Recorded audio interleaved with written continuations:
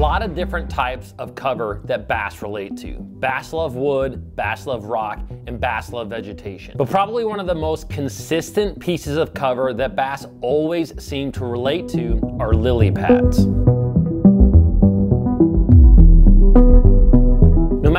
Live in Florida, California, or New York, lily pads can be found in lakes, rivers, and ponds across the nation. Over the years, we have seen several major tournaments won by fishing lily pads. Now, whether you are a tournament fisherman or a recreational angler, fishing massive lily pad fields that sometimes stretch on for miles can be extremely overwhelming. So learning how to break down pads and throw the right lures is going to make you a better angler.